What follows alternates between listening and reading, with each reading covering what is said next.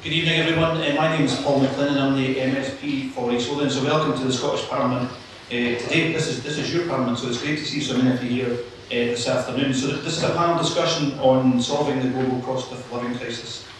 Is a wellbeing economy part of the answer, we'll be discussing that and other topics uh, this afternoon. So we've got from 5 o'clock to half past 6 uh, this evening. This uh, event has been supported by the Cross-Party Group on Wellbeing Economy. I chair the Cross-Party Group on the Wellbeing Economy as well as being a Cross-Party Group uh, on uh, chair on renewables in the, the, the Parliament as well, and also the International Development Cross-Party Group in the Scottish Parliament as well. So we're looking at, at the uh, wellbeing economy, but also looking in the wider context in terms of international development. So I'll introduce our panellists in, in a second um, and give a little bit more, a bit more breakdown about what the event's going to uh, involve uh, this afternoon. So I'm going to introduce our, our panellists. So our first panelist I'll ask uh, is Gemma, uh, is, uh, is at the far right there. Gemma and is a proactive political economist. no. Not, not politically, the far right. My, I can't possibly say that. As a political, uh, political economist, and systems change specialist dedicated to transforming the economy, to society and the environment. She's a trustee of the Wellbeing Economy Alliance in Scotland and a senior fellow at the Financial Innovation Lab. Jane has a PhD in diverse economies and has published on transforming uh, banking and finance. We've got Thobile Chittenden who's joining us on, uh, online and she's joining us from South Africa. So Thobile is the network colleague of the Wellbeing Economy Alliance, a community builder and non-profit leader with a passion for social and creative entrepreneurship. She graduated from the Gordon Institute of Business Science Social Entrepreneurship Programme. She also leads community organisation Makers Valley Partnership, which enables a wellbeing economy in the eastern outskirts of Johannesburg's inner city. And I said to later in this from South Africa. So it's great to see you this afternoon. And Lisbeth. Wonderful to see you. Yeah. uh, and uh, to my right here is, is Miriam Brett. Miriam is a researcher and a political economist. She's currently a research fellow at the Democracy Collaborative and Wellbeing Economy Alliance, a board member of the Green New Deal Rising, and sits on the expert panel for the North Ayrshire Community Wealth Building Strategy. So it's great to see everybody here this afternoon. The cost of living crisis is probably the biggest issue every politician is facing at, at the moment. But it's also important about how we can make sure we transform what we're trying to do in terms of cost of living. It's not short-term change, but the longer-term change that, that we need, and that's incredibly important. And one of the main reasons around about setting up the cross-party group for developing economy.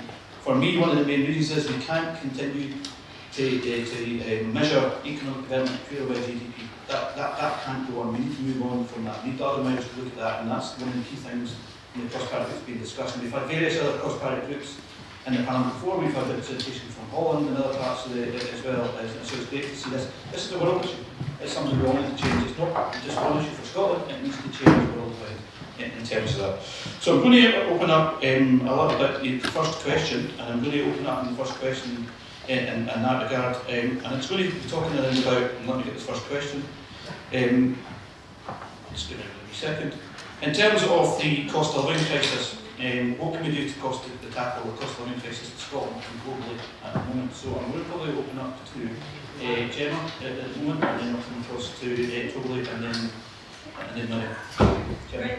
Thank you all very much. Uh, nice to see you all here, including you might have seen my excitement. Oh my gosh, because I've been working with WEAll Scotland now for what, maybe two and a half years. Um, and it's the first time I've seen people in real life, so um, a bit exciting. Um, but what we've been doing for, the, for, for those sort of two and a half years in WEAll Scotland, um, and not just from then, but before then, you know, a lot of people have spent a lot of time for many, many years um, not warning about the explicit moment that we're in, um, but saying that there is a better way. So people have been calling for action on climate change for 30, 40 years. Um, I, when I when I counted as a youth, which sadly is no more, um, I went to COP15 um, in 2009 in Copenhagen, and that was um, pre-COP26. That was the last chance to kind of get 1.5 to be, you know, to, to, to, to still be um, the goal. And uh, as we saw, like we're still not, still not doing it. So 16 years later. Um, and when when when I went to COP, when I you know, the global youth came from all over the world, so the, the sort of UK youth delegation, we partnered with the Kenyan youth delegation, so we fundraised to kind of make sure they can come over, you know, getting them in the room with the English um, and the, the UK politicians um, and the negotiating teams to try and really kind of be allies and, and, and raise up the you know, real threats that you know are there, particularly for the global south, facing the worst ones of this crisis. Um, and sadly, I think that the current situation is our inaction is coming home to roost here for the first time um, in a really very real and visceral way. And you know, I I don't think it's been alarmist to say that there is really such a frightening time ahead in the UK in terms of people's, you know, can we just think about that question, that, that, that term, the cost of living crisis? The cost of living. We're not talking about the cost of enjoying your life. We're not talking about the cost of sitting up and putting your feet up, the cost of not being able to go on holiday. We're literally talking about people's capacity to live and to live, you know, we're not even saying live well in this scenario. We're, we're talking about a situation where in Scotland there is already a problem with fuel poverty. About 20% of the population are affected by fuel poverty.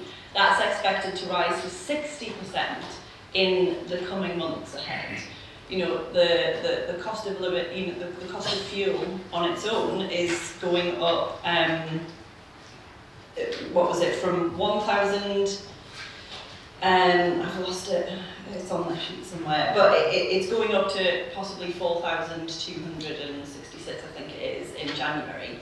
That's insane. Like, you know, regular people who have good, well-paid jobs and maybe who haven't got a lot of debt are going to feel the push. And everybody who is underneath that are really going to struggle. But I think the point is, is it is wholly preventable had we taken action 40 years ago, had we taken action 20 years ago, 10 years ago, 5 years ago, last year. Now, we're still waiting for, for sort of real significant action, at least from the, the UK government. Um, although there's a lot of great stuff in terms of the heat and building strategy, which I think we'll get onto later in terms of Scotland specific action. But a well-being economy in terms of the cost of living means that we need to just call out the fact that this is a crisis about surviving, about people just being able to heat their houses, not freeze to death, or conversely, like, like cook to death in the heat waves, like it, it, it works on both sides of this. Um, and what we really need to do is say, this is really enough. Like the, the, the things that we need to do to tackle the cost of living are the things we need to do to tackle climate change, all the things we need to do to tackle inequality, all the things we need to do to create good jobs for people Um, and, and to sort of push away from the cost of living and push into living well, living joyous, happy lives, which is all anybody, you know, really, really wants to do. So I think we are in a very dire situation and, you know, I think this is going to be a really good discussion to try and tease out, you know, hopefully some positive actions and a positive path forward from the cost of living crisis into a wellbeing economy. thank you for that. I'm going to bring Thobile in in a minute. Kind of reminded me that the point that Jim has made about the warnings. And I, I don't know if, if, if this was fake. Last night I was going through Twitter, and in 1986, Carl Sagan gave evidence to the American Senate talking about climate change and the dangers of climate change in 1986. He was no. Imagine if he'd been listening to then and politicians had listened then, we could be doing things now. So, Thobile, I'm going to bring yourself in, in, in terms of what, you know, the cost of living crisis, how that's impacting on, on South Africa in terms of the well-being economy and the impact it can have on South Africa. Exactly. Yeah, uh, Gemma, I just resonated so much with what you're saying because just that question, living wage, just, you know, something I've been thinking about so much is that this is a human rights crisis. It really is fundamentally an attack or, you know, impacting our human rights as a society. And especially us as Africans are really feeling the impacts of this. So obviously with the war and the pandemic, all of these have had a huge deepening economic crisis and just an effect on livelihoods in Southern Africa specifically. We've seen extreme poverty just increase by, I think it was 55 million people in 2020, and then a further 35.5 uh, million people lost their jobs in addition to that in 2020 alone. And the job, the unemployment rate in South Africa, for example, amongst our youth, is up to 63%. And so there's so many things that this is really affecting our access to basic goods, basic services, our food, our housing, our healthcare, our access to electricity. There is so many um, fundamental basic things that are being impacted by this. And this is why I see it as such an important thing to, to have this discussion around today. Um, but further than that, I also see unrest, civil unrest rising, protest rising, social friction, the inequalities are increasing. And so this is just, um, you know, in terms of the social fabric, not even just access to human rights, the social fabric of our country, of our continent, is really being impacted by this as well. And so this is, you know, obviously, as you mentioned, the well-being economy is a long, long, long awaited and overdue. Um, but even more so at this present moment. So I think this really highlights to our society, to communities, that where is this sense of Ubuntu when, you know, big fossil fuel companies are taking advantage of this crisis situation and further increasing prices? How do we bring the spirit of Ubuntu, which is just togetherness, of actually recognizing humanity and recognizing one another? Um, and I really think the well-being economy ties into this. And so I come from Johannesburg, South Africa, as mentioned, and one of the communities that I've been actively involved in is called the Makers Valley. And we've really looked to the well-being economy, especially during COVID, at the, the brink of COVID. We really looked to some of the approaches and looking at a local economy and community wealth building and some of the solutions that lie within this um, you know, global kind of narrative, how can it be localized and contextualized for our demographic?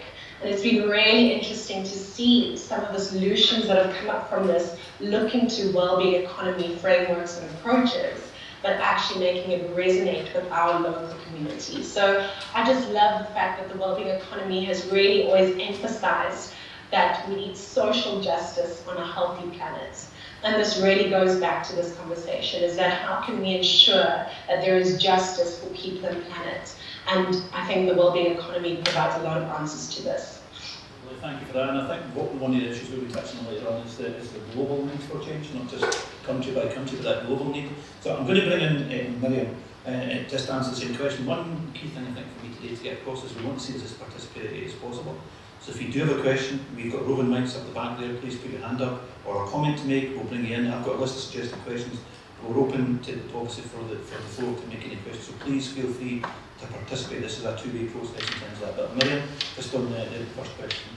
Fantastic, and well, it's brilliant to be here and intimidatingly fantastic time to be on. Um, so yeah, thank you. Um, I mean, I think the cost of living crisis has exposed really deep set fractures and fault lines throughout the heart of our economy and really driven forward the need for an economic systems change um, approach. You know, we're seeing a perfect storm gather, we're seeing eye-watering profits from fossil fuel capital, we're seeing soaring rates of fuel poverty, folk forced to choose between heating their homes and putting food on the table. Um, and, um, and so it really kind of encapsulates a lot of the essence of some of the kind of fundamental fault lines of the way in which the economy is owned and the way in which the economy operates. Um, and intrinsically tied to the cost of living crisis is the volatility of the current operation of fossil capital, and it can't, we can't see those as, as, um, as separate. Um, and tackling it, and the question was, was about how do we tackle that at an international level, at Scotland level, at UK, know, at UK level as well. Um, I, think at an international level, there's there's huge amounts that, that we can do to begin to tackle this, looking at the kind of, of course, the causes and distributional consequences of, of climate breakdown, which are inherently tied to the cost of living crisis, are unequal are, and the, the distributional effects are, are unevenly felt. Um, and those that have contributed least towards the climate crisis are at the front line of climate breakdown. Um, and that's, you know, fundamentally unjust and indicative of, of an economy that is, that is unequal by design. Um, and, so what action can be taken to address that? Well, I think firstly, in terms of Scotland's place in this, you know, as, as an oil and gas hub, um, there's huge amounts that we can do to actually accelerate that transition. Scotland, know, finally, our appalling weather, today exempt, has a benefit. You know, we've got incredible wind and wave power, we've got incredible renewable potential. So our job to accelerate that renewable transition as part of a just transition that you know, creates good green unionised jobs um, throughout the country um, is integral to actually a bigger kind of conversation around, around wider decarbonisation strategy. The role that we can play, and granted there are limitations to this because of the nature of what is devolved and what is not, but there's normative power in pushing for debt relief, for debt restructuring, for debt cancellation, which the UK frankly has an appalling track record of doing. There's action we can take, um, again, at a normative level to look to making trading just um, by design to actually try and alleviate some of the pressure um, on countries in the global south and tackle international, um, uh, the, the, way in which the economy is designed to exacerbate global imbalances.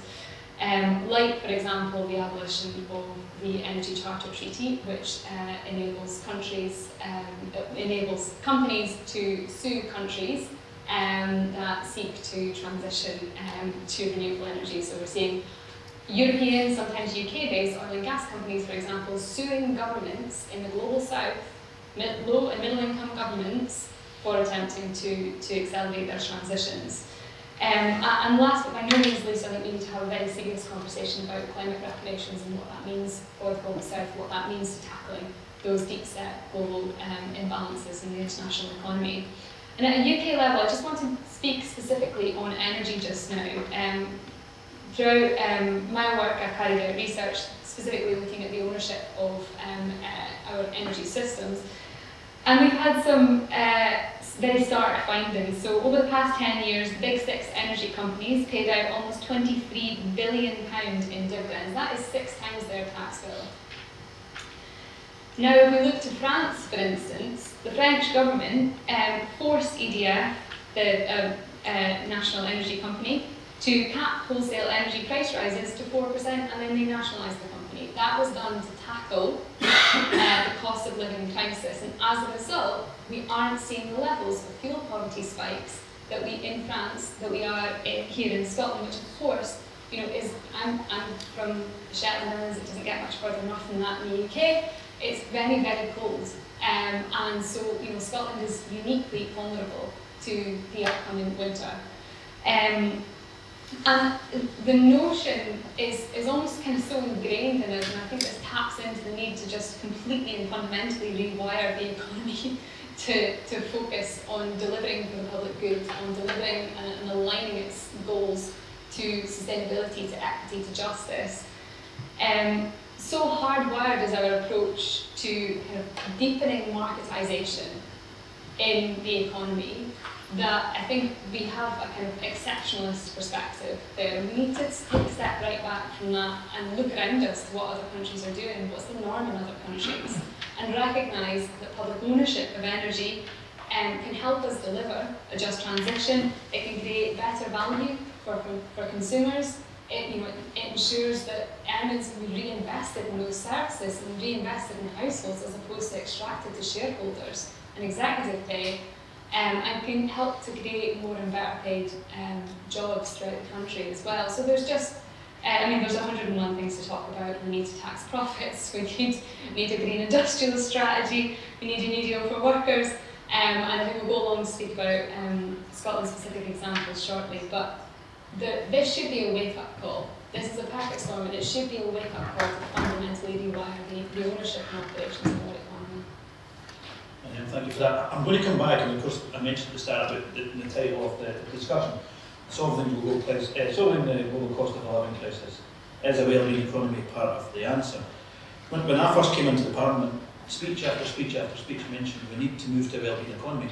And I thought, right, I'm going to ask some of my colleagues, what does a well-being economy actually mean to you? There were, there were as many different answers as, as the questions that were asked. So I'm, I'm probably trying to put the panel on the spot in terms of that, and I'm going to ask them to keep it brief for you. But in terms of, and I'm really keen to understand from the audience what they think, what you think a well-being economy is. Because I think one of the key things you always need to do as a country is how do we measure what a well-being economy is. That's part of it, and policy behind that. So I'll probably come to yourself um, in terms of that. What, what is a well-being economy to you? You touched on it, but what, what does it mean to you? What does a well-being economy mean to you? Yeah, so the, it does four things. So um, WEAll Scotland have produced a lovely short brief strategy. So even if you don't feel like you understand economics, even if you, you might, you know, a lot of people feel intimidated by that, um, that's not what we're about. Um, it's about really pulling it down. And we've got this fantastic strategy, and there's, there's sort of four things that, that a wellbeing economy is involved. So the four P's, because everyone likes alliteration.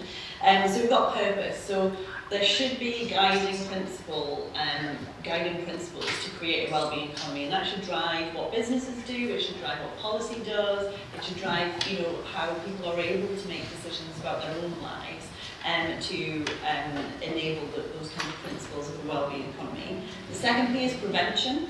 So this is about, you know, we spend so much money, have another great report on WEAll Scotland, um, which Anna, one of the authors, sat, sat right in the front row here, um, called Failure Demand. And what that did was look at how, um, how much money we spend just fixing up the messes that the current economy creates. Now, you know, even if you're not kind of the most sort of right-wing Tory, and you, you know, everybody hates inefficiencies like that. Like, what, why are we spending so much money having people come to harm and then sort of trying to fix it a little bit, maybe not quite perfectly afterwards. What we need to do is do, do preventative measures, so that means um, you know, tackling the root causes. So we, we often say like moving upstream to sort of stop the floods from happening in the first place. Um, the third P is um, pre-distribution.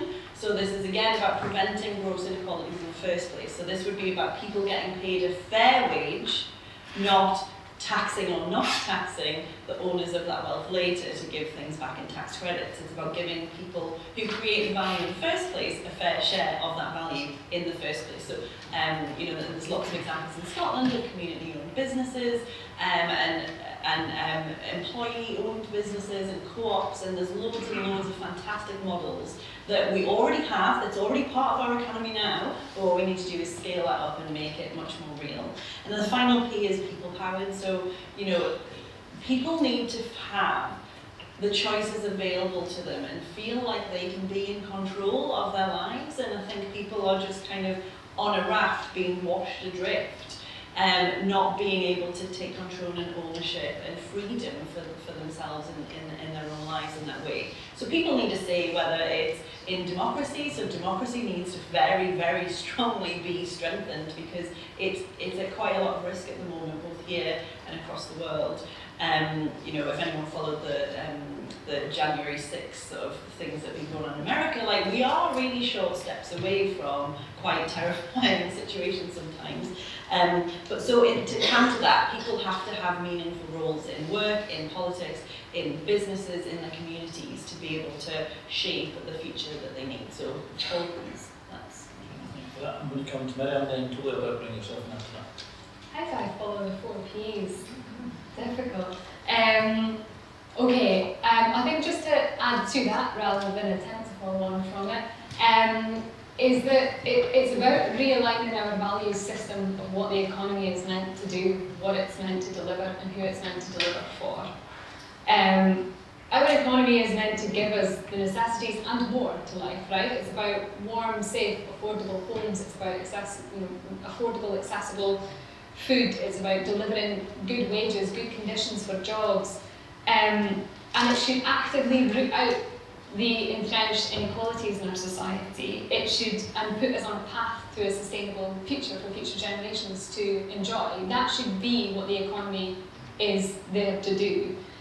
And instead of measuring it in that way, we encapsulate it through uh, these very, very narrow fiscal metric systems that fail to actually accommodate the nuances and the complexities and the goals and the values that we actually want to seek. And GDP in particular um, is intrinsic to the way in which we do this, and we center entire economies around it, and we have done for decades, and it's bonkers. you know, and it doesn't actually assess, you know, rates of decarbonisation. It doesn't actually assess how sustainable our economies are, the qualities of those jobs, the levels of inequality in society, all of these things that are intrinsic to how the economy functions and how it delivers for us and who it delivers for and why. Um, and I, think just to, to end by saying that, you know, and, and I was guilty of this as well, I used to say the economy is broken. and because it is when you look at it, it is. Um, but it isn't in many ways, so it's doing exactly what it was designed to do. The type of economy that we have, and it, there's nothing natural or inevitable about the type of economy that we have today. And we've changed it in many ways before. We can look to the post-war consensus and the way in which we had a dramatic shift of values, the levels of investment we saw to restructure and rebuild an economy out of the wreckage. And we can look to a very different type of transition under the Thatcher Reagan years, in which we saw a, you know, I'd argue, a devastating um, but radical transformation of the economy. There's nothing natural or inevitable about the way the economy is currently geared. Who owns, who owns the economy and in, in whose interest is it run? And we have the power to change that. And put, centering a well-being economy at the very heart of that is uh, a, a really important foundational step to do so. Thank you for that. Julie, your thoughts on what a well-being economy is? Then I'm going to put it out Sure. there, so if anybody wants to come and put your hand up after this, and then I'll, I'll, bring the lady just there. What does well-being mean to you? But Thobile yourself first of all. Excellent. Yeah, I mean, it's very hard to add to what they've just said. I think really encompasses what Wellbeing Alliance is, is advocating for. Um, and I think, yeah, we're singing from the same hymn sheet. So what I would just say, something that I think has personally been important for me, is that the wellbeing economy is also about diversity of thought. It is about plurality, it is about inclusivity, because it's not a one size fits all. And when we think about local context and moving away, or you know, this the spirit of decolonization and looking to various parts of the world and what resonates and what works in a local context, it's so important that indigenous knowledge is brought to the forefront as well, and that the voices, and this is the thing about the well-being economy, it's that it's every voice is valid in the room. It's not a certain group of people. Actually, it's all encompassing. And this is the thing: is that the economy is it's exciting because now everybody has a say. It's the management of how we live our lives. It's management of how we engage with one another. And so this is what I love about the Wellbeing Economy Alliance. And even the approach that we have is not just about the outcome or the tool that we're trying to create. It really is also about the design or the process of how we get there. So we look a lot at co-creation and participatory processes because the, the process of getting to the outcome is just as important as the outcome. So that's what I would add. Thank you. I'm going to open up to the audience, some other first hand up there, just to lady. What what does a well-being economy mean to yourself, whether a question or a comment? Okay, well, first of all, thank you. Um, I'd like to know how this fits in with the environment. I mean, obviously, the economy is having a terrible effect on the environment, and I'd like to know how this well-being economy uh, links with the donut with donut economics, which you know looks at the limits to growth in terms of its impact on the environment. Thanks. I'm going to open up. Is there any other questions? Because I'm going to take one or two questions. I'm going to take the lady just in the front there and then the lady at the back. I'm going to take a couple of questions at a time. So if the panelists can take a note of that one and then just the lady at the front there. Yeah, um, I'm from Scotland's International Development Alliance. I'm interested in the fact that obviously there's consensus in the room and in South Africa. But actually, at a global level, if you look at the draft statement from the High Level uh, Political Forum, which is all the governments in the world talking about the Sustainable Development Goals, hidden in those 29 pages is a commitment to getting rid of GDP as a, as a way of measuring economies and moving to the well-being economy. So, okay, we have 163 countries signed up to it, we have everybody in this room. I don't have a sense, though, that it's going to happen, so I'd like to know how we do it. Do we need to glue ourselves to the Hold, road? hold that question because what I was going to do is have a specific, ask panel specifically on the point you've made in, in, in, in there. So it, we'll, we'll come across to that one. And the lady at the, at the back there. Thank you. Um, mine is actually really linked to the previous speakers that um, I, it's maybe not a question, more of a comment, uh, and also something I'm thinking and grappling with myself, is that I heard the point made earlier about our fixation with, you know, having fiscal metrics to measure everything like GDP and so on. Now, wrong or right, um, we do need to have some sort of fiscal indication of measuring how well we're doing. Now, if we are to then expand it to more inclusive sort of well-being type of indicators, my sort of question is, what would that look like, considering that in every different country, whether you're in Scotland, you're in South Africa, there are nuances and subtleties to everyone's sense of what is their well-being. So if we think of it on a sort of global macro point of view, it can get a bit tricky in terms of how we measure it. And again, we may not want to fixate on measuring it, but there is a school of thought that what gets measured gets done. So there does need to be some aspect of it. So it's not really a question, just more of a comment on some of the difficulties um, and practical strategies to think about as we push forward for the wellbeing economy. I'll ask the panelists to come in and talk around about the point that they made about the, the, the economics. So, Jem, I'll probably come to yourself, uh, then, and then, and then Julie, and then Miriam. And I think there's been, I would like to move on to the point you made about international development and how we, and the connectivity about that, because I think that's incredibly important.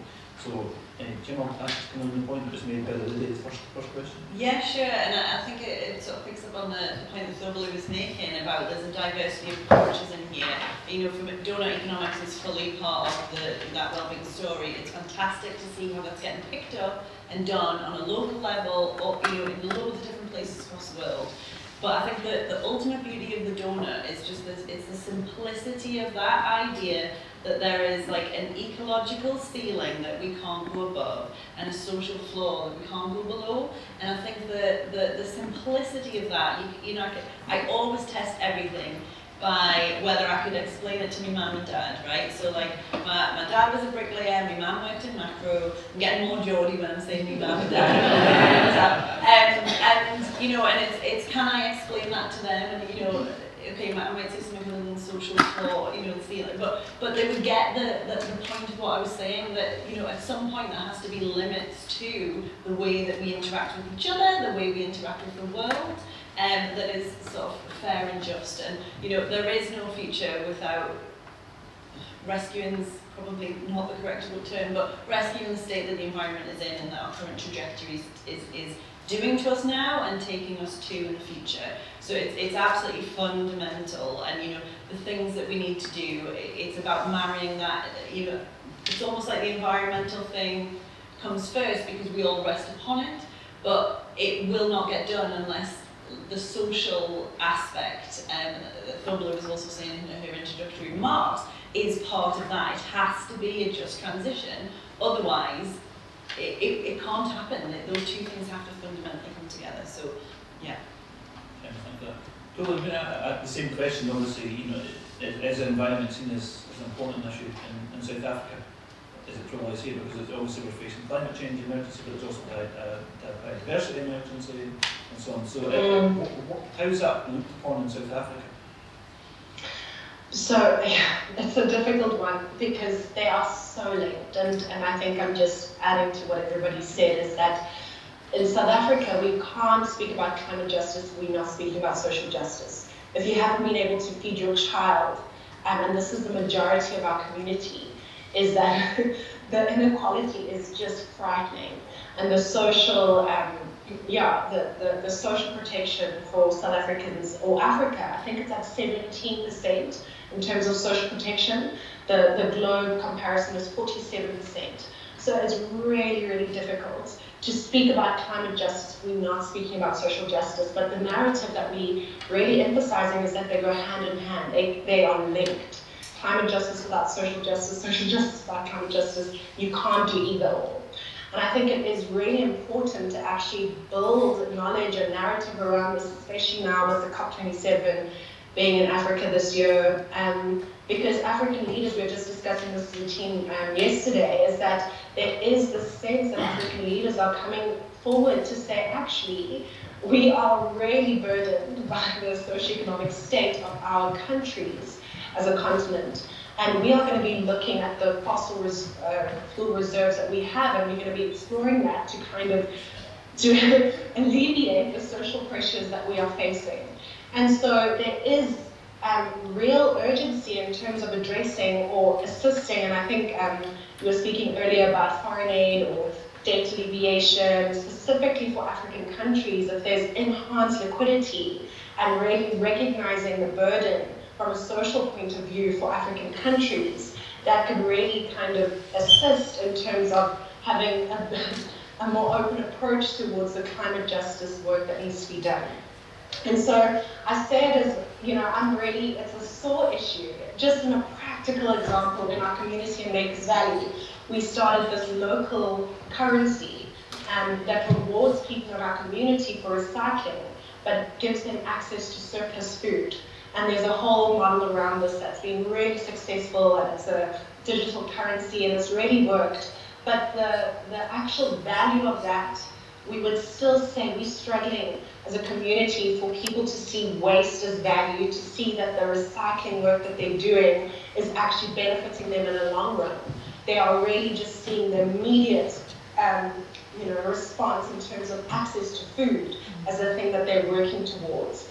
So the climate justice or the recycling initiative or the environment part is, is great and it's a nice to have, but I would say on a, on a community and grassroots level, it's a really hard sell. And so this is why we're really passionate about combining the two narratives together.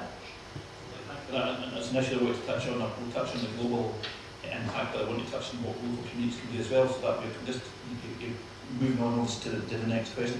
But I'm um, just on the, on the, the, the point the first lady made about doughnut economics, like just your thoughts on, on that. Then I want to talk around about the global context and international development and the importance of that. So I'm just on the doughnut economics. Yeah, I'd say, um, and Jenna covered it um, really well, but I mean, I'd say as well on on that point around kind of the need to kind of because it ties into the point that, you, yourself had made around around the need to kind of replace it with something else. We can't just not measure the, the way the economy operates. Now there are kind of a series of indicators that we could look to that would be kind of universally um, better, whatever you are in the world, to try and measure um, how successful, what success in an economy looks like. That could be child poverty reduction, rates of decarbonisation, the quality of jobs that we have in an economy, to give a few examples of the many that could be. But also just to add to that, that there's a real need to shift away. The climate and environmental crisis changes absolutely everything. Um, the need for urgent and radical action is very, very clear. We have a, a literal deadline in front of us a 1.5 target to get to. So the need for, for urgent and radical action is very clear. Within that too, I think there needs to be a way in which we reframe um, public policy decisions, decisions around investment and, and the um, duration with which we expect to see returns, because that's sometimes how it's seen, right? There's a very, very short-termist approach to the way in which decisions are taken. Um, and, and how we measure those decisions is, is um, linked to that. So, you know, we need to reframe our, our minds out of that and, and kind of rewire our approach to public policy to try and tackle climate and environmental crises in a way that actually you know, is consistent with long-term planning, which is something we haven't done for, for decades and decades and decades, generally, at a UK level certainly. Um, that actually kind of shifts away from the, the short-termist thinking because it, it's simply not applicable to an age of climate environmental breakdown. Thank you for that. I, I want to now move on to the, the two points that were made by our last two speakers, also talking about um, international development being incredibly important at this, and, and, and I suppose it, it, it's, it's global well-being, which is, I think is incredibly important. And I think at the moment a lot of the cost of crisis is probably driven by geopolitical issues that are going. Obviously, the, the war in, in Ukraine has obviously uh, had an impact on that. The impact of gas, and we can maybe talk about energy security later on because I think incredibly important in terms of that. I think there's another couple of instances when you look at it. COP26 last year, you talked about the big, massive polluting countries in terms of the US, China, and India, and their reluctance to move to quicker measures to get us down to 1.5. And we just have to look at the pandemic in terms of how quickly or how poorly the, the North, the relatively rich North, tried to support uh, suppose, vaccination and, and the, the, the, poorer South. So that again is an issue about that. So I'm going to open it up to the panel in terms of the importance of international development and global well-being, where we can play a part. And I think the lady mentioned about the indicator and what we need to do globally to move us towards that. Do we almost need something similar to COP26 in terms of moving towards what's a global well-being and how do we move together on that? So, Toby, I'm going to probably come to yourself on that one first of all, and then, then I'll go to uh, Miriam and then Jen. Sure. Um, So yeah, I do. Obviously, global well-being is important, and I, I like somebody in the panel said, what does that mean though for the various countries? Because it is going to look different in each country, and I think that's the, like that's one of the starting points. Is if we had a platform to discuss what global well-being looks like, I think that would be crucial in terms of hearing the voice of the majority world, which is often so left out in terms of these conversations and these platforms and these dialogues, is that that is such a crucial first step in terms of examining what is the, the development that we're wanting to do if, you know, we have to hear the voices of these countries first. Um, but I think I was alluding to the fact that just now was speaking about, yeah, this, this socio-economic pressure that African leaders are facing and, and how can international or the global, um, the globe just kind of assess and input and provide assistance in terms of these. So you, so you spoke about vaccination relief, which was absolutely incredible um, for specifically Africa and what that meant in terms of us fighting this pandemic. Um, but there's so many other ways that this can be done, and I think specifically in terms of debt alleviation and enhanced liquidity for these countries, because this is really where the biggest struggle is. Um, I think that's that's a big step for us. Um, obviously, I'm speaking from an African perspective, so this is really what's crucial for us. But from a global perspective, I really feel that, yeah, a conversation where everybody's got a seat at the table would be really meaningful, specifically for Africans, um, to feel that their voice is not only heard, but it's valid and will be taken into consideration. And even um, this narrative around African leaders now saying they're going to explore fossil fuel reserves, and there's a quick no way from the global audience, like that's wrong, that just goes against everything that we've been working for for climate change. That response within itself has has become has been seen in a, ne a negative light in terms of an African perspective because it's seen again as a sense of colonization. And so I think it's it's about really just having this conversation, but really valuing the knowledge that these African countries or majority world countries can bring before we push solutions um, you know, and, and try to, to access or to, to go on this path of development without actually recognizing what are the actual needs and why.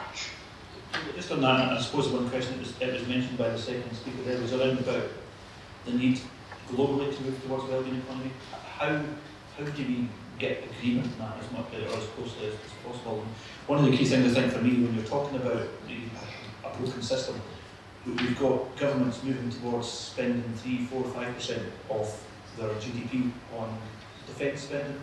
And we've got the current government here in the UK cutting their 0.7% uh, budget for international development. There's something fundamentally wrong when we're looking at, at that internationally. So I don't know what your thoughts are in terms of how do we move the world globally towards the well-being economy? How do we get 100, uh, mentioned figure 160 countries?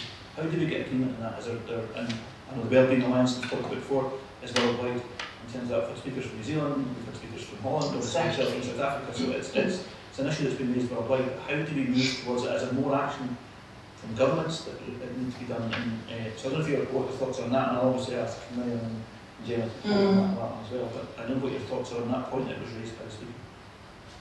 Yeah, so completely agree that there's you know, the Wellbeing Economy Alliance is, is one of our biggest strategies is the WEGo partnership. And, this is where we already have five governments, national governments, working with well-being economy approaches and frameworks. And part of our 2040 strategy is to enhance the number of governments that are looking to well-being economy frameworks and approaches. And what we're seeing actually is interesting that there is an interest in what this means for national governments. I'm just hearing an echo of myself, sorry. but what this means for national governments, this has been, there's interest in terms of this.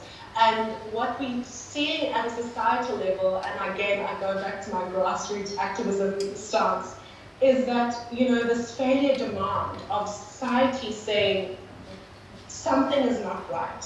This economy is not working for us. And so from the ground up, we're seeing pressure on governments, nationally and locally. We started, we've got a, thing that's called the Policy Makers Network, which are local governments across the world that are connecting and sharing knowledge and understanding how can I use well-being economy in my context and getting learnings from one another globally, which is also growing. In South Africa, for example, we're seeing cities really getting you know in contact with us, asking us how we can be part of this network. So I think the interest is there. It's just about the support and the networking and providing the resources or the steps and the guides in order to implement it. And so at a local level, we've worked on for local government policy design guide, which is co-created by over 70 members um, within the Wellbeing Economy Alliance that is being piloted in various areas. Um, and this has been really fruitful in terms of, because of the, the plurality of thought and perspective, but also we realizing that the way that it's being piloted is obviously looking different. The outcomes are not exactly the same. It's looking, you know, the nuances are there. And so even though they're working from one policy design guide, we are flexible and open to the fact that this is not going to look exactly the same across the globe. But actually, that's a, that's a great thing. It's not going to. And so I think it's, it's about this ground up kind of activism and movement around people saying we want something better, this is not working for us, and we're starting to see that, but also from national and local government policymakers actually being part of this, providing them with the support, the tools, the resources in order to implement them in their, in their obviously in their context.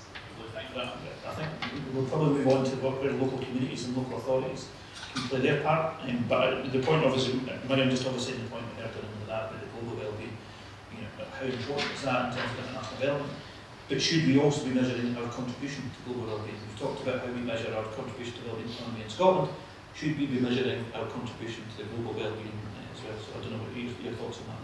Yeah, definitely. I think that's a really, really interesting, um, interesting idea. Um, and I mean, I mean, I think just on COP26, first I think it was a really um, important moment for, for Scotland, Scottish Government. Um, to, we saw the First Minister come out against the creation of Cambo oil fields. Um, that felt massive. Um, I think that's a, a really kind of seismic shift, and we've got we've got a lot further to go. But um, but I think you know taking steps to talk about not just about like you know we want to see renewables great, but actually what does that just transition look like for other communities and other workers? Actually, what, what does what does that mean for them? How do we ensure that we don't treat all the communities and other workers like Thatcher treated the coal miners and actually give them longevity, give them security, give them investment skills, the training and job guarantees that they need. And it felt like a real step towards that kind of conversation. So just to say that, I thought that was really important. On the international side, I mean, now we rightly saw condemnation around what some countries were and were not willing to, to do at COP, particularly India and China. What I would say is that when we're looking at emissions, we cannot just look at the emissions of today, we need to understand how countries have contributed to historical emission trends. And that cannot be separated from the history of colonialism, slavery in the UK's role, and that's astronomical. And I think that leads on to a bigger conversation about what climate justice looks like, what climate reparations looks like, and what a palliative approach to climate justice should, should and, and, and can be um, if, if we take this seriously, which we should. Um, uh, and uh, on the point on, on debt, it was, it was raised earlier as well, there's things that we can do as, as a nation, I think, again, at a normative level, we don't have a, a seat around the table as such, but at a normative level, that can be really impactful in pushing for the type of change that we need to see just now. Countries need fiscal space to be able to see through just transitions and they don't have it at the moment because we have a system of debt accumulation and um, that actually you know, rewards and funds lines the pockets of um, the, the creditors and we have a narrative around debt that is one of irresponsible borrowing as opposed to irresponsible lending and that needs to change. One of the ways that we can change that is through the creation of an independent debt workout mechanism. Um, and, and the UK is a massive creditor nation as well. Um, and so independent, an independent debt workout mechanism could assess whether debt should be restructured, whether it should be cancelled, whether we should provide debt relief. Um, and I think that would be a really important first step, and I would love to see um, Scotland uh, champion that. I, in my previous job, worked for a watchdog to the International Monetary Fund and World Bank. Um, and the UK and, and Europe as a whole has a, a very influential seat around the table in both of those extraordinarily neo-colonial governance structures. Um, and those institutions are really interesting illustrations, I think, of where we're, where we're at. I say we in terms of um, wealthy northern um, states and the role that we play in the international sphere. And they're kind of masters of spin. Um, and so, you know, you'll see all women panels in Davos, isn't it wonderful? and a lot of talk about in inclusion and the inclusive economy and sustainable economy. And actually, if you look at the nature of those loan conditions in the case of the IMF, they are still rooted in austerity, they are still rooted in deregulation, they are still rooted in privatisation of public services and companies. And that is fundamentally misaligned with what we need to see to actually tackle the, tackle the climate and environmental crisis. So we need space for a just transition, and to do that means that we need to challenge the knee-jerk reaction to uh, economic crisis management and actually tackle it at its source as well. Um, and, and just another thing to add on the international development front, one of the things that the World Bank has got really, really good at doing is um, utilising the language of sustainability to, to further um, deepen marketisation of economies. You do that through, through public-private partnerships. Now, we know that through PFI disasters. We have exported that model globally to low and middle income countries, and they are now straddled with the contingent debt liabilities of them. That's in energy infrastructure, schools, hospitals, you name it. And we've done that through institutions like the World Bank. Similarly, there's now a push drive maximising finance for development. That's about achieving the sustainable development goals. And what we are seeing is a real deepening of the role of asset management companies in that. Are BlackRock and Vanguard aligned with the type of value we want to see? I don't think so. So, you know, there's also a need to call out some of this bluff because there's a real concerted greenwashing effort from international financial institutions and the UK has a seat at that table. And we should use our voice more effectively and actually call for the type of climate justice that we want to see. And last but not least, I just want to touch upon trade. So the UK's trading position is a little bit precarious just now. Um, but we have played a role both as, uh, as the UK and through the EU trading bloc in locking low and middle income countries into very extractive trading deals um, that actually exacerbate global power imbalances but also lock them into decades of, of fossil fuel extraction as well. If we look at the EU, Mexico modernised free trade agreement, for example, that's a really good illustration of locking Mexico into decades of, um, of, of fossil fuel extraction um, without benefit. European fossil fuel companies. Um, but so, you know, there's, it, it's not about tackling just one thing, it's about a systemic change. And to do that, we need to, to rein in corporate power, we need to actually root the system in climate justice um, and, and tackle, tackle it at a multi-pronged level because there's a lot wrong.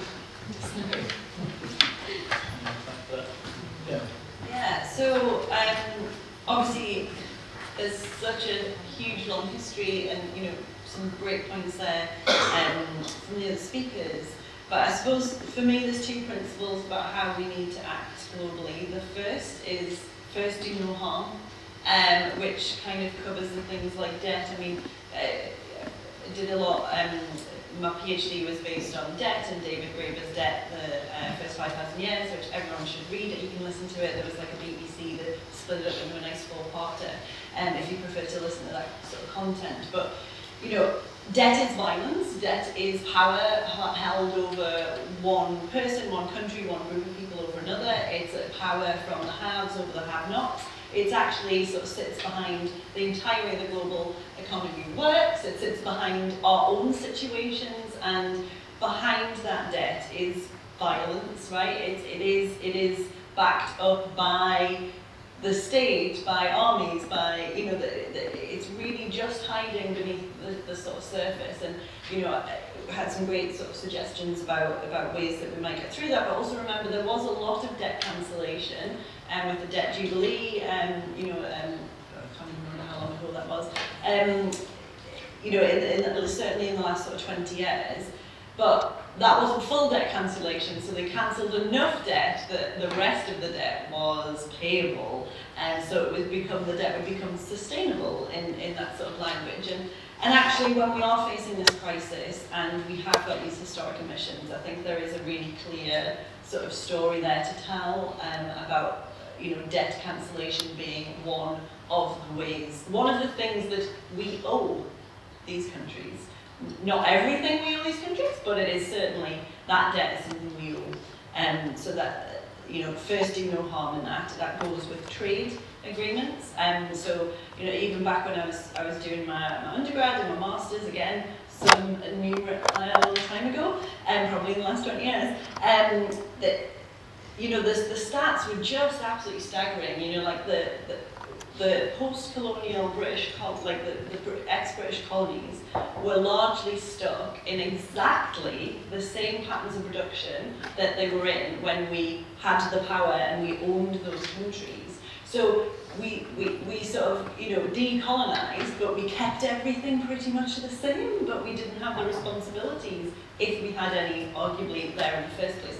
So there's that first do no harm in terms of debt, in terms of trade, in terms of how we interact with one another. That's kind of the, the negative part of the story. The positive part of that is, um, is about listening and learning. So the other part of colonialization for me is this feeling that we in the West know better, that, that the, the, the story we are told is that you know the global south have to catch up to us, right? We are making an absolute hash of it. Like we are one of the richest countries in the world, and we've got 60% of people in this country this year are going to struggle to pay their energy bills and have to, you know, make real difficult choices that are going to get into more debt. And we are not doing this well. We are not model to follow. What that means is we have to listen and learn from countries who've been operating under great pressure for a long time, you know, often through, you know, our fault in the first place.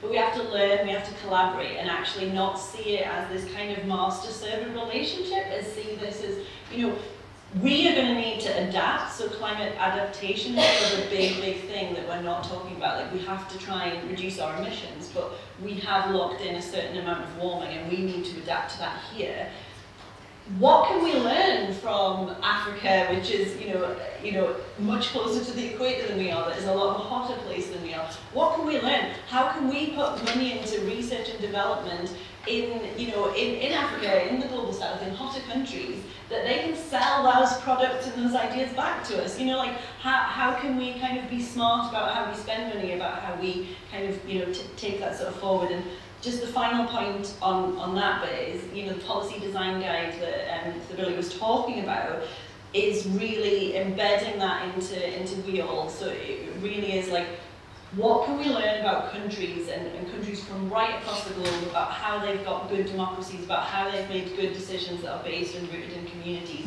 So really trying to learn from um, everybody sort of across the world and sort of share and innovate and collaborate together. And I think that's that's hugely important. And um, actually, in one of those design guide sessions, in terms of what should we measure, which I think is a great question, and um, I, I would say we have to resist any single measure of progress. I think the problem with GDP is there's lots, but it's a single measure of progress. So somehow you're mashing together sort of, you know, a lot of different categories and giving yourself a number, right? There are some approaches, and again, it's a diversity of approaches, so fair play to people who want to go down that route, but it's not my preferred opinion, because if you end up with a number and you've got a seven, are you happier than you if you got a five? Like, what does that mean in terms of well-being in a really substantive, real sense to people? I think, I think it's, it's smart to measure the things we already do measure, child poverty, how much money people have, whether people can get housing, how many homeless people have.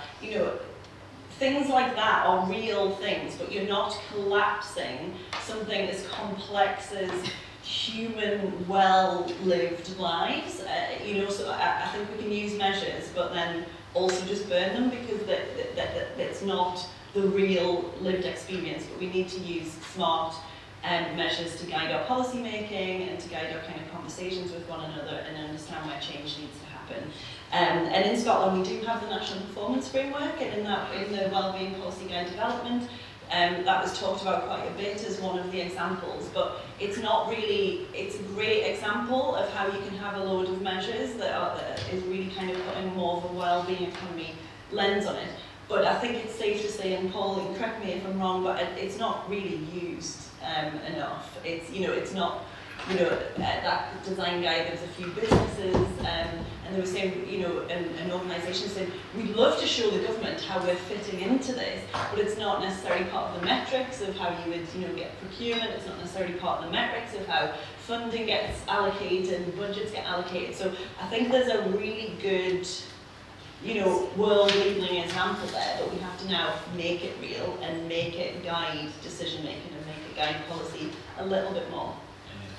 Just on that point, I think that's important. The, there is a well-being economy monitor framework being put together at the moment, and, I know there have been some discussions uh, in, regards to that, then with the national funds framework, but it has to be more, you know, it has to go lot of people, and, and, and again, it depends on what indicators are. I kind of want to move on to the, to the next part of this, and we've got an hour into so we've got half an hour lady and I see the lady with a, a question that I'll bring in just in a little second, if that's okay. I think we've seen how important national policy is, we've talked about how incredibly important global policies. I want to talk talking about now, and I'll bring the lady in just in a little second, and before just give the heads up to the, to the panelists, it's the role of local communities, it's the role of local government, and it's the role of the voluntary sector. How do we move them towards wellbeing? And we do they understand it? What's the role of them? And how do we move that? Because it has to be across all sectors. I'm going to ask people if they have any questions on, particularly on that, on local community, communities, um, on, on uh, local government and voluntary sector, but I'm going to bring the lady in because we had hand up last time.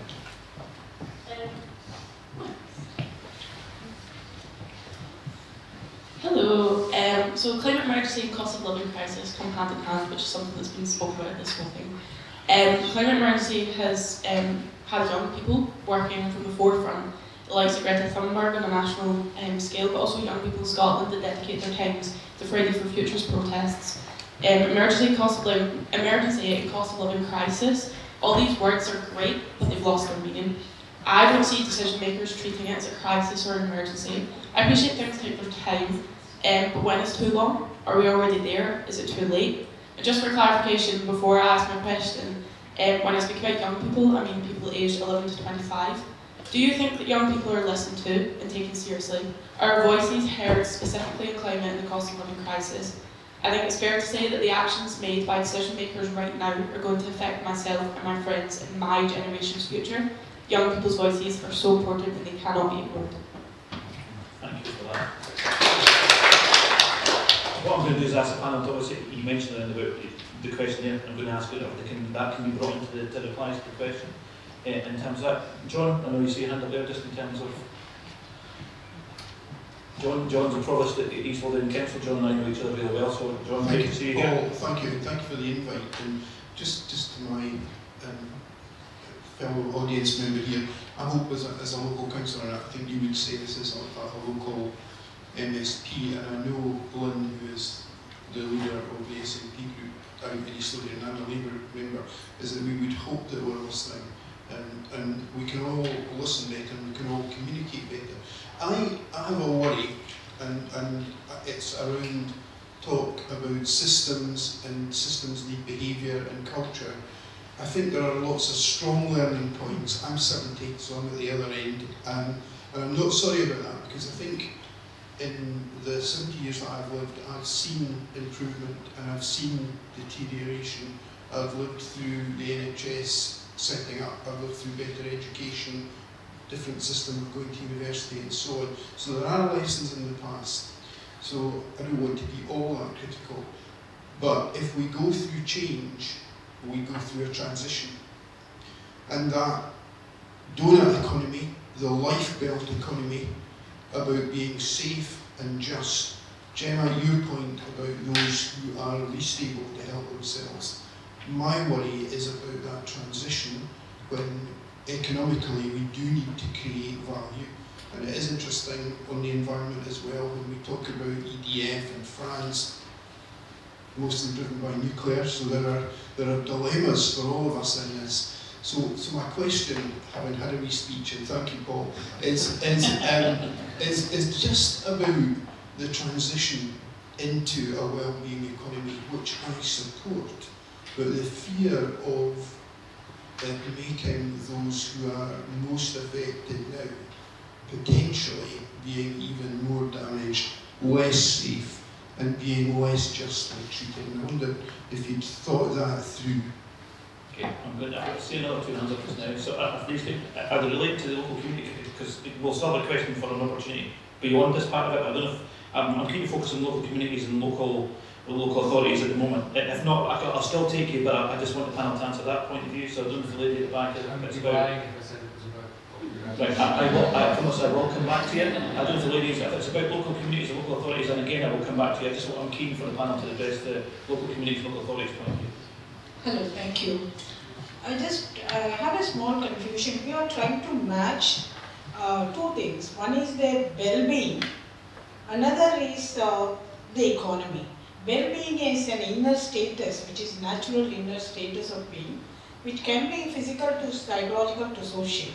Whereas economy is totally man-made. these two are basically controversial things. How are we doing to match these things? This is my basic confusion. Another thing is, we, are, we have been talking about the spatial differences in different countries, different places, within the countries the differences.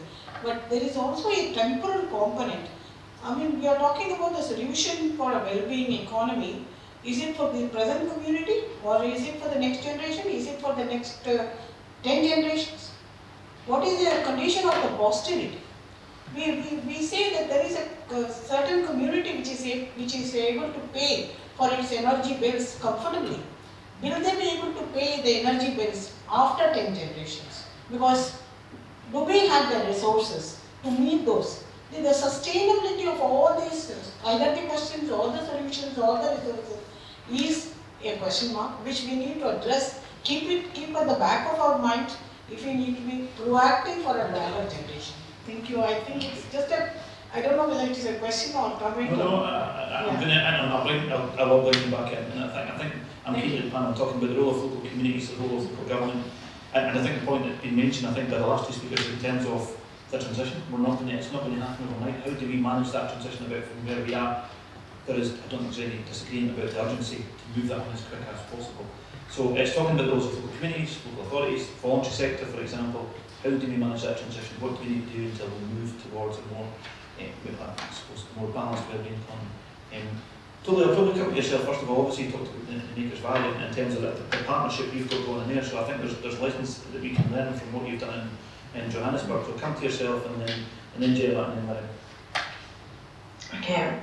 Yeah, so the, the Makers Valley is just an incredible community and I think we, we start with a question in our community because you know, we're not stuck on the word well-being economy. I think it's the values and the principles that we're speaking about and what we, the, you know, what is the ends to all of this? What is the ends to the economy is the well-being of people and planet. And so when we speak to a local community who has no idea what the well-being economy is, we ask the question, what is a good life? And then we say ready. And we ask, we say, comma, ready. And really kind of reflect on that at a community level. Because of globali globalization and westernization and, you know, American media, if we just ask what is a good life, you know, the, the, narrative there or the response there can be really um, just material things a lot of the time. But when we ask the word really at a local level and asking people in our community, what does good life mean really to you at a deeper level, then we start to see the things that we're speaking about here around a well-being economy in terms of justice, in terms of a healthy planet, in terms of being able to eat and having a living wage where you can afford to have the basic goods or a dignified life. So those are the responses that we see at an inherent level, and it doesn't matter who we ask at a, at a community level, the responses at a deeper level start to become things that we're speaking about, which is amazing. And I think when you have a workshop like that or a dialogue like that, and we start to get to that level, it's such a beautiful moment and a connection moment to say, actually, this is what we're working towards as a community. We're not just working for material well-being, but there are other things that we're working towards as well. And what then do we, how do we get to this question? And so what we're really passionate about is saying we're not just putting the solutions out there.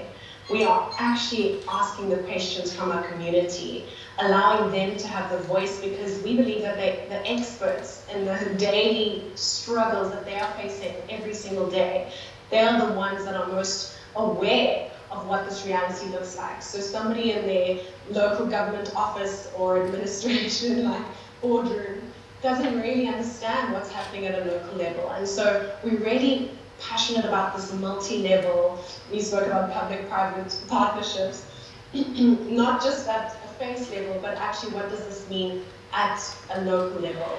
And so some of the things that have come up from this is really looking at local businesses, um, looking at circular economy practices in terms of production, in terms of how we're connecting at a local level, in terms of social enterprise. I think it's such a great, easy, and understandable way to think about your business differently, about the jobs you're creating within that business and how you're going to be able to create fair employment.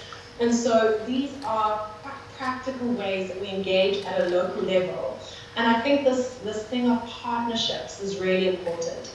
And we were awarded this thing of a network of possibility in this crisis because it was partners coming together. and I think power dynamics exist in the world, and this is when it becomes difficult when you're speaking about transitions.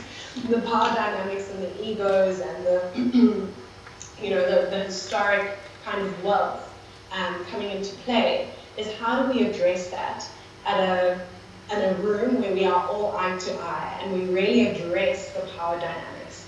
And so when you're speaking about well-being on an individual level and well-being at a societal level, I think the two go hand in hand. You can't extract one from the other because they impact one another. And so it's really important that we have facilitative practices in order to engage the community on a really meaningful way. And I know it sounds fluffy what I'm saying, but you know, we speak about getting to answers fast and quickly, but from an African perspective, it's also so important to, to have healing from the colonization that's taken place in the past or apartheid practices that have happened. There's a lot of deeper things that need to take place in order for solutions to just come to the table. And so I'm not saying that, you know, the dialogue, the dialogue has to be followed by action but the, the, the dialogue is very necessary. and we speak about this term, I think it's a UK term, so it's not a South African term, um, around new municipalism.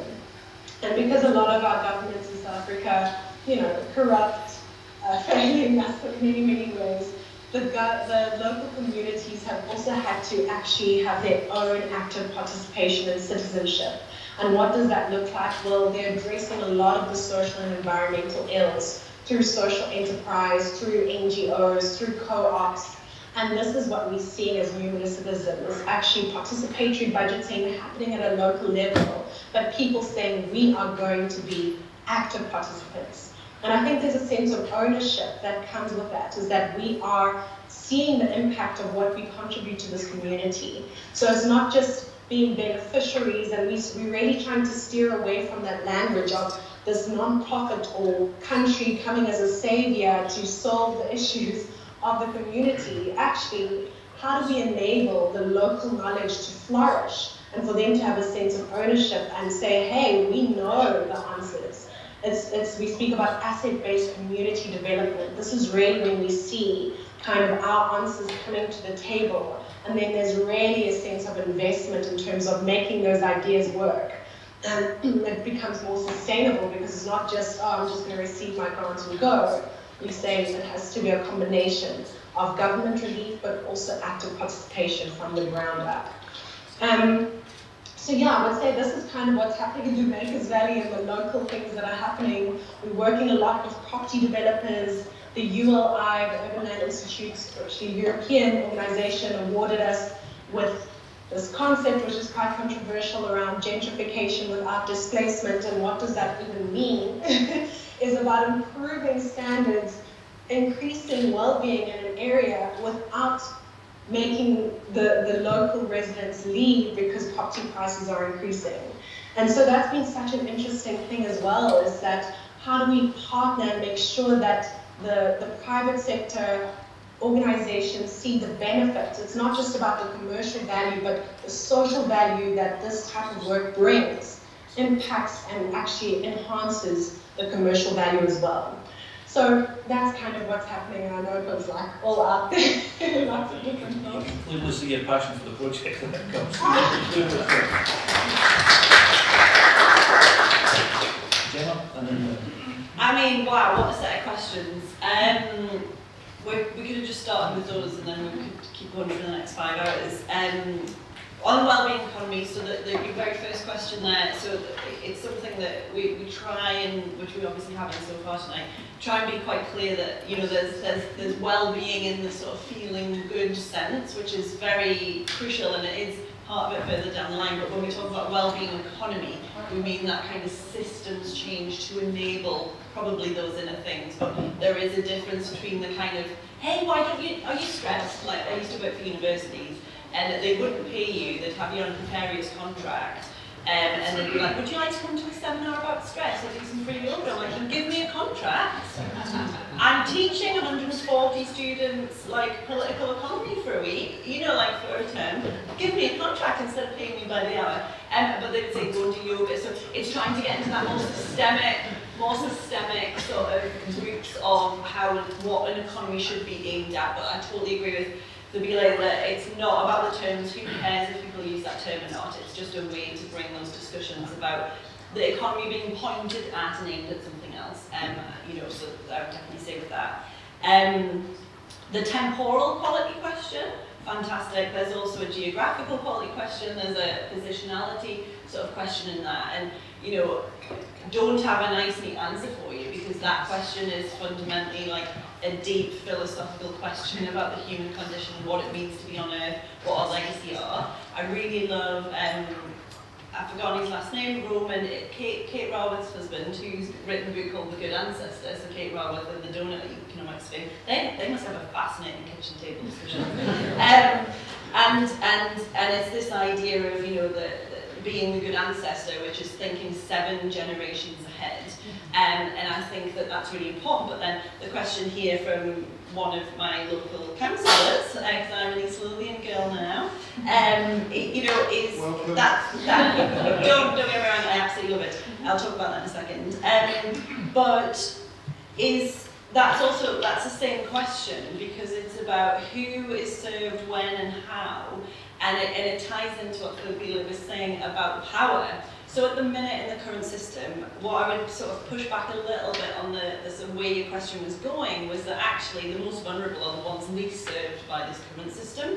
So moving to something else is what we have to do to protect, not protect those people, because that, again, that sounds like sort of patriarchal kind of thing, but is to make sure that the economy that we are building, that exists now already in this current moment, so this is, this is something that we have to think about. There isn't one dominant economy that is everywhere and every place all of the time.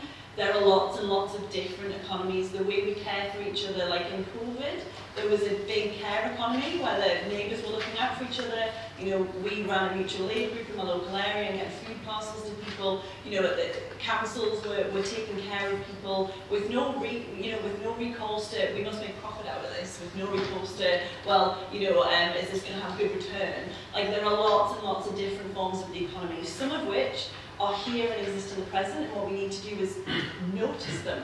We need to grow them. We need to, to speak about them, to recognise them. Um, and the things that are bad and that are harming us, we need to call that out and we need to say, you've had your day and actually we need to help maybe have a just transition. So thinking about Aberdeen, thinking about all those communities. Um, you know, the Northeast has never recovered from the reforms in the, the 1980s and, you know, the decimation of the Northeast. It's never recovered. And we don't want that in Scotland, we don't want that with communities and people. But these people also have a huge wealth of expertise. They have the skills we need to do the transition. So it's about managing that well, putting the investment in the right places to take them with us.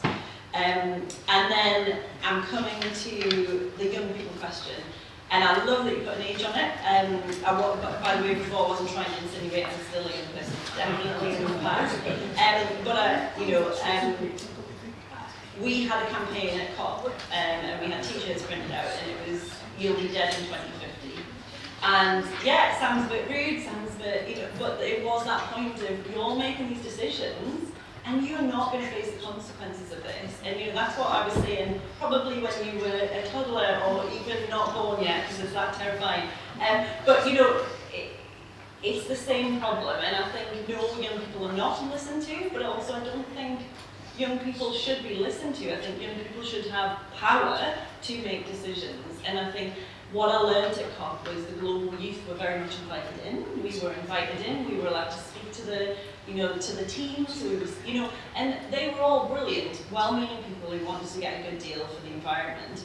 But when COP started to get a bit shaky, they just kicked us all out. We had no actual power, no actual role, other than a kind of greenwash kind of, aren't we being nice to the young kids kind of thing. And so I think there's often either just platitudes for young people, or um, you know, you've got to put your money where your mouth is. So I've seen some good examples of participatory budgeting where they give the budget to the young people in areas and they decide themselves how to do it. More of that, please, more of that. But also, councillors behind you, ask them, how do you stand? How do you become a councillor in your local area? Like, we need to rejuvenate local politics. There is a lot of power and there's a lot of um, innovation in local politics with this new, new municipalism. You know, North Ayrshire, as maybe we'll hopefully get onto, it's got some got some fantastic um, approaches to you know community wealth building and things like that. And then you wanted me to talk about the local, so um, finally just behind my local councils, because Dunbar is such an amazing place. Sorry, Philip. There's Philip, and Philip um, works for an organisation, well, he volunteers, uh, you know, as a leader in uh, an organisation called Sustaining Dunbar. Sustaining Dunbar have set up a community orchard, they've set up a community bakery, they've set up a community grocery, they're looking at community energy, thinking about retrofitting, thinking about continually pushing the boundaries you know, they didn't start with power, with a budget, with wealth. It was a group of people who got together and said, we want to do something different. That's, that economy is there, that, that group of people is there, and that's the, they're the things we need to build and kind of move locally. And I know, you know, um, we've just been talking about, we need to meet because I want to know what your plans are. Like, you know, and, and I know you're looking at um, local retrofitting programs, bringing in, you know, so there's so much we can achieve locally, and um, so keeping that global mind, that act, act local, think global thing, but actually, but it's really taking that power and really running with it. And yeah, let's have just more young people just actually just making the decisions and having the power, not listening to them, but well, do listen to them. But like, let's just let you make good decisions as well. Like that, that's what it's about. No, I think that's kind important, and just to support the point you I also stayed in Dunbar, so it's not Dunbar takeover, I promise you. But Philip is looking at Philip Revel who's behind there, and, and I know Philip will want the recognition. He was looking at this 15 years ago and taking this issue, so a big massive thanks to Philip for what he's done. So we need more to Then we'll really come yourself, I'm conscious of time, and I won't bring the chaplain who did the question here, so we will, we will do that. No, I will, I will bring it. So, then obviously we talked to them about the North Ayrshire and community wealth building. Um, I don't know if you just want to touch on now, any other points you've got talking about the role of local authorities and yeah, absolutely. So I've been lucky enough to sit on the expert panel for North Ayrshire Community Wealth Building Project. Community wealth building um, goes absolutely hand in hand, but a match made in heaven with the wellbeing economy.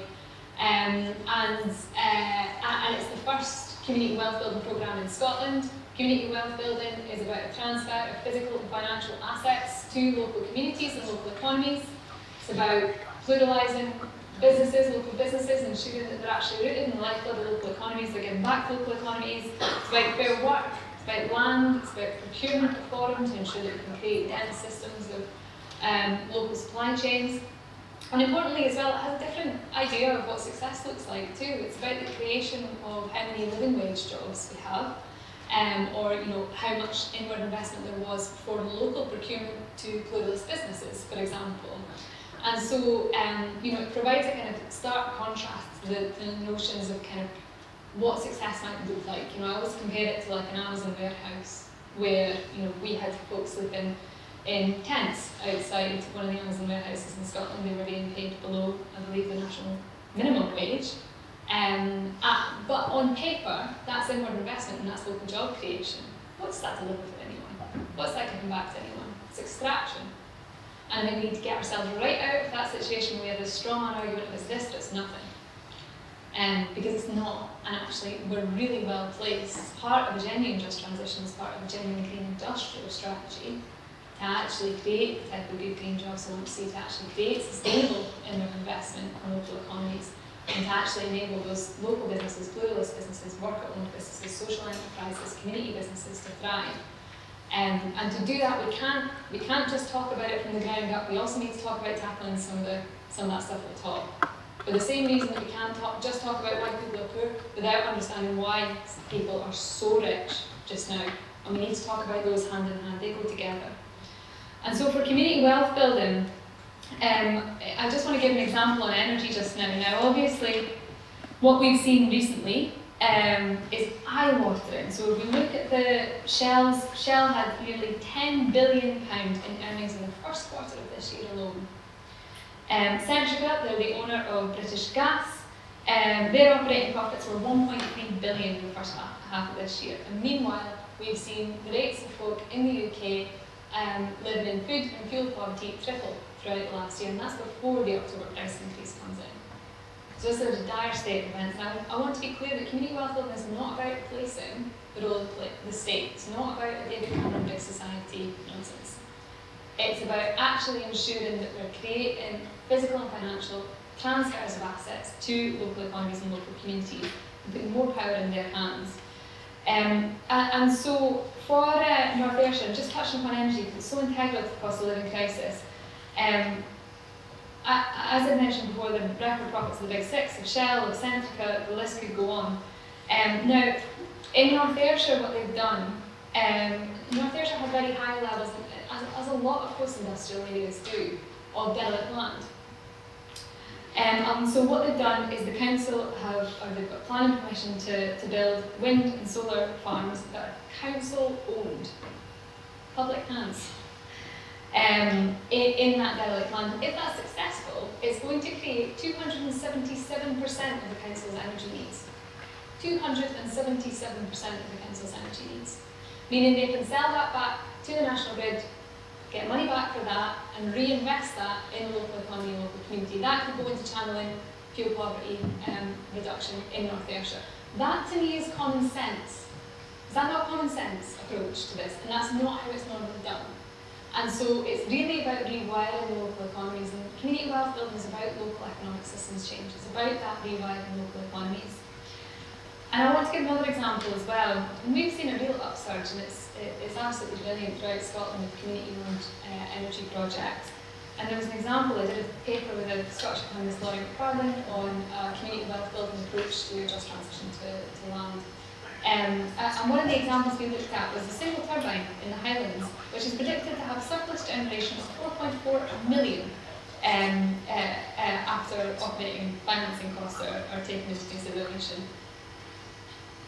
Again, if we look at you know how much, how many wind, windmills would Shell and BP have to build before 4.4 million went back into the hands of communities? So it's really about flipping a lot of this on its head, right? Um, and I also want to touch upon transport as well um, as community wealth building. So I think we've taken an incredible step in the right direction in nationalising ScotRail. The idea that our you know very high rail fares were being channeled into the of shareholders and also owned by the Dutch National Government's railways, by the way, who we bought, um, was illogical in my eyes and I think it's an absolutely brilliant step in the right direction that we've nationalised ScotRail. Buses, on the other hand. Um, Arriva, First Group, Stagecoach, Go Ahead, National Express paid out an average of nearly £150 million a year to their shareholders between 2008 and 2018. many of them are operational in Scotland. Um, and if we look at the good city of Edinburgh, for example, where we have a, a council-run bus service, um, and Nottingham as well, there's a few examples throughout the UK. What we tend to find is that they have better wages, is that they have lower fares, is that they actually function a lot better. Um, and I say this as someone who's just moved from London to Glasgow and I'm very frustrated with the buses. Um, um, I, also want to, uh, to look at land as well as, as well as community-owned energy. So just now in Scotland, we've got a bit of a perfect storm with, with land and it, it ties so directly into the, the need for a just transition as well. On the point on a just transition, that was raised earlier, I think what we're getting at here is the difference between net zero as a standalone goal and a just transition. You can, you know, there was fantastic work, um, econometric work carried out by Transition Economics that showed that actually Scotland could go to net zero without actually creating that many jobs, without actually, you know, transforming communities, and without actually, you know, delivering the necessary policy levers and levels of investment to um, secure a sustainable future for oil communities just now. Or we could have a just transition. In my eyes, that needs to be worker-led, that needs to be trade unions around the table, that needs to be actually about um, delivering the right levels of, of investment, regulatory reform, policy levers to actually secure a just transition that creates millions of good green unionised jobs, the life and bread for the country and rapidly decarbonises the economy. Again, a, a no-brainer for me. Um, on land just now, Scotland has, and we've made incredible headway to tackle this, um, particularly over the last few years, still has a very heavily concentrated land ownership, particularly in, in rural Scotland. Um, it also has a very unregulated land market and it has very favourable subsidies and uh, tax reliefs for those seeking to green land. And now on paper greening land looks good and of course greening land is good, but how we do so matters and this ties into the net zero versus just transition approach because Scotland has become an international hub for um, carbon markets. And so what we're finding actually is often you know, asset management firms, big corporations, um, are, are buying up a lot of land to plant trees or peatland restoration um, is still absentee landowners often. Um, and actually, what are the benefits there for communities? Now, we look to actually democratise nature restoration. We can actually deliver good green local jobs. We can actually see benefits back to communities um, and actually start to regulate the land market in a way that actually actively gears it towards that. Um, Last but by not, no means least, just to say on the point on young people and those local authorities and about to cheat, but rent. Um, a two bedroom house on average in Edinburgh is £1,700 a month. Um, Edinburgh city centre has uh, around 2,700 active Airbnb listings. Um, that is driving up rent, that is fueling homelessness, um, and that is creating housing insecurity that disproportionately affects young people. So if we're looking for measures for what we can do to actually help create um, some security for young people, we need rent controls in the long run. We've seen, we've seen measures taken towards this. We need to see that implemented. In the immediate term, we need a rent freeze. And the idea that rents are going up while people cannot afford to heat their homes or put food on the table is nonsense. We need an immediate rent freeze just now. This is a national crisis, and we need to deal with it with the urgency that it deserves, and it's disproportionately, that's disproportionately affecting young people. Um, and, and, secondly, again, last, I promise, retro, um, retrofitting homes.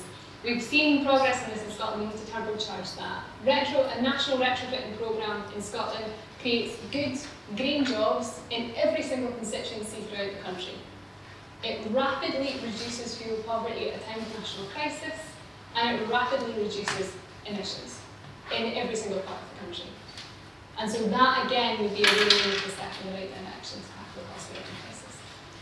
Yeah, I'm conscious of the notice that half past six, so I'm, I'm really keen just to bring the question in, and I'm going to ask each of the panelists to bring in an important point, so I'm really sorry, but, you know, I think it was there. So if you want to raise a question, and if everybody's okay with that, I'll bring it to an end in about five minutes or so. So if you want to ask a question, then I'll ask the panelists to address the point and also what their final takeaway from, from this is. Okay, so I'm going to finish off the event for you then. I, I really appreciate being able to ask the question. It, it almost seems uh, that most of it's been answered, which is quite nice, but there is maybe a way to, to, to, to round it off in a way. So there's about five questions all wrapped into one. I think it's about narratives really. We've heard like lots of really useful solutions to how we can move to a well-being economy. I still get stuck hearing people down my local pub in Leith where rents are also terrible and getting worse. Uh, hearing people talk about money and value, that the word that John used, in a way that it, it doesn't work for the future that we're imagining. How do we move that narrative in average Joe Blogs in the pub away from this idea that money in their pocket is linked to the need to have shareholders line their pockets from big, big, big, big corporates. I can't see that narrative clearly in my head, even though I know and I'm with you in all the answers that you've shown today. Uh, so thanks. Thanks for holding No, us. th- thanks for that. And I think just to, to address the, that point, I think I'll, I'll ask colleagues to address that point you've made, because I think that's an incredibly important part, of the can keep, um, Patricia, we keep about 90 seconds, if that's possible. And I want to take away and address the point that you mentioned, which I think is incredibly important. How do we, how do we normalise this? We've talked about today, but how does it get out there in the wider community? How does the development economy, people see it as, as an actually impacting on their lives? So, Tola, I'm going to come to yourself, and then I come to Miriam, and then I'll ask you And we'll give it 90 seconds if possible. I know it's a a challenge, but if we can.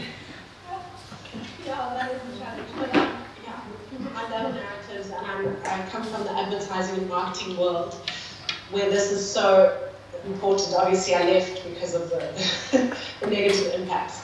But the, the, the stance that we have is at the Wellbeing Economy Alliance is bold, vital, and entirely possible. And I think I love that because we, we come into this conversation with a positive kind of mindset in terms of we can. It's not something that's just like too hard to figure out. We know this is a wicked problem, but we can think of solutions together. And I love the fact of bringing the ordinary Joe, what the term that you used, to the conversation. So these conversations, these platforms, these dialogues need to be in different spaces. It needs to be in the spaces, in the pubs, wherever it is where people are, where they, you know, let's have the conversations there. So at COP26, there was a Common Ground Music Festival, and the Wellbeing Economy Alliance was there speaking about economic systems change at a music festival, which was absolutely incredible. And using the power of graphic design, videography, podcasting, and social media, you know, we say, like, even though it's not something we want to advocate, but we really want to use the good that comes from social media in terms of talking about this in the ordinary world and the places where normal people congregate. And these channels are really important for us. And using um, topics that are, are quite vital at the moment. Speaking about inflation, so our social media team are going to do a narrative around that and post it next week around this is something that's really, really at the heart of normal people at the moment. And how do they see inflation linked to a well-being economy? And what is the narrative around that? In simple, easy to understand language that's not academic, that's not in a paper, but really just tangible and, and easy to reach, accessible.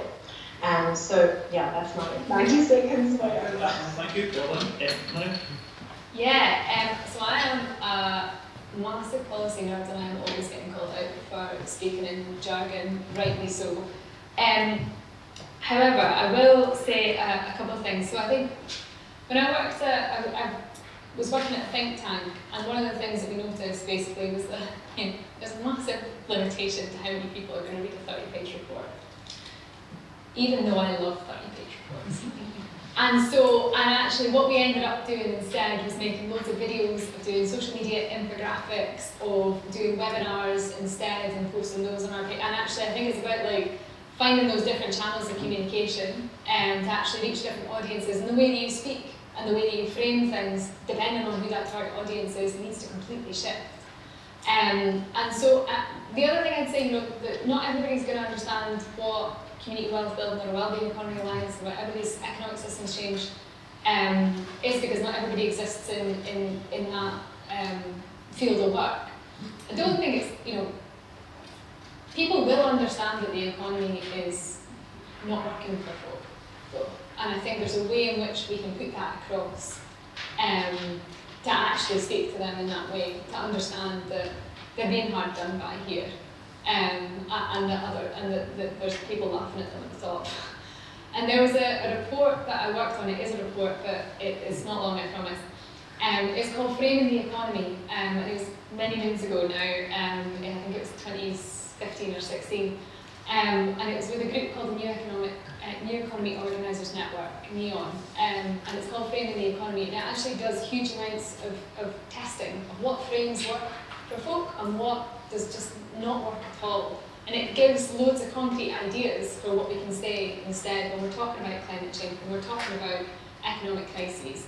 Um, uh, and, and I think that, that's been, that's I think a really helpful document to, to um, encourage a shift in that. Um, yeah. Just delete and talk about framing the economy. Oh, sorry. No, no, no, no. I was just like straight away, I was like, yeah. Um, so yeah, so I think the biggest enemy of progress is the magnetism of the status quo. It is so easy to think of what currently is, is the natural order of things. That this is how things happen and anything from that is radical or an aberration. I think what we're living through at the moment and what we're going to go through in the next few years particularly is the awakening that what we're living in, that economic system is extraordinarily radical. It pushes people to the extremes. Like, you know, I, I remember a few years back, um, and my, my son was really small, he was, I think he was about two, um, and there was that photo of that little boy, Alan Kurdi, and he washed up on the shore. He was, he was face down, like lying there with a little pair of red shorts on. And we have not moved since that moment. That is horrific. That is absolutely horrific.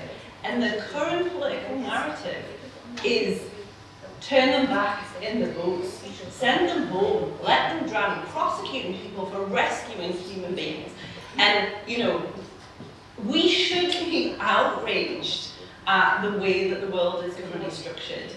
And we need to be you know, unequivocal in, in really fighting for something different. And in terms of narratives, everyone saw that that was horrific. There was a moment where that cut through, but it's brief and it's fleeting when it happens.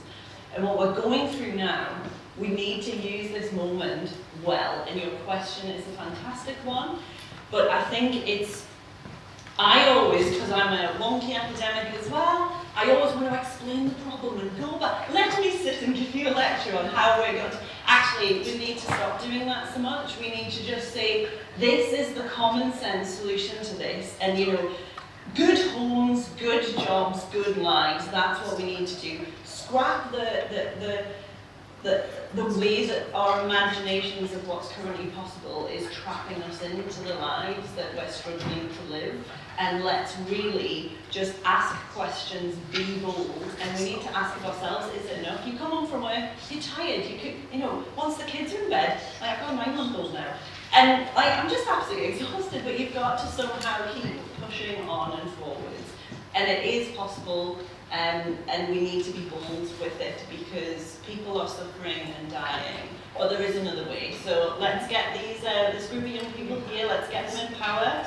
Um, it's not means that it doesn't mean that it's all up to you because that's the other thing I hate about young people. But you know uh, that, that people treat young people as like we'll just kind of we'll mess it up and we'll just let you later. So, but let's get, get those people in, into power um, and let's start where people are. So the, the final point on that is we all were, were reached out to, sort of, uh, it was through the pandemic and I know there's been work going on working with the Scottish Football Association so we want narratives. The Scottish Football Association want to talk about a well-being economy. They want to talk about how they are centred in communities all across Scotland. They are vital parts of the community, of the children, of the young people, of the parents who are coaches. Like, this isn't and shouldn't be just an academic exercise from the policy wonky stuff at the top. This has got to be about how people live their lives and why sport is critical and why, you know, these centres of places are good places to start conversations about where people are and what needs to happen. So everything's there, but just reject the status quo just wherever you can. just push for something more humane and brilliant. I'm conscious the time,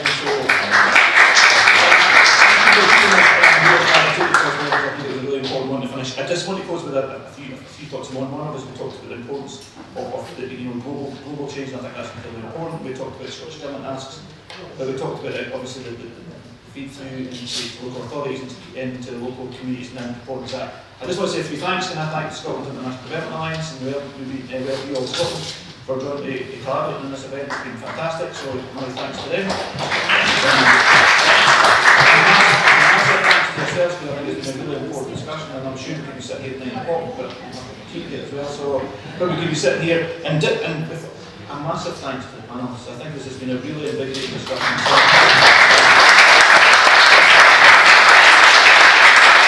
uh, and to the event, say a massive thank you and I hope you enjoyed the event today. Thank you.